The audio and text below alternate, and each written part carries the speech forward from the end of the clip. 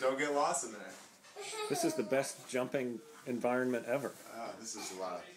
All right, hey Ryan, you want to show him how It's you stand? You stand on the side and then jump, and then run. Here, okay. All right, and presenting Ryan. Oh! he just went for it. Do it again. Go holds bar. This is a big one right here. You want me to announce you?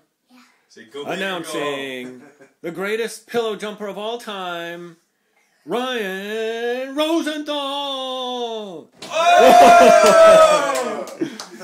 yes. Big air. Fingers spread apart. Just Another one?